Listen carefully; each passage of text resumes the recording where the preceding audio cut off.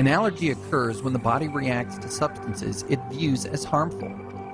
The substances, such as tree pollen or dust mites, are called allergens. Following the body's first exposure to an allergen, white blood cells produce antibodies that prepare the immune system for the next encounter with the same allergen.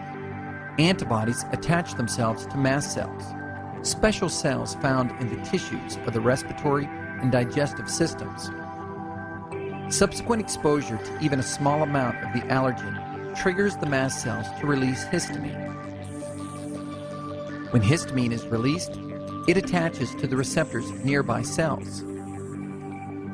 These receptors interact with other substances in the body and cause nearby blood vessels to swell and secrete excess fluid, causing symptoms such as sneezing, runny nose, and watery eyes.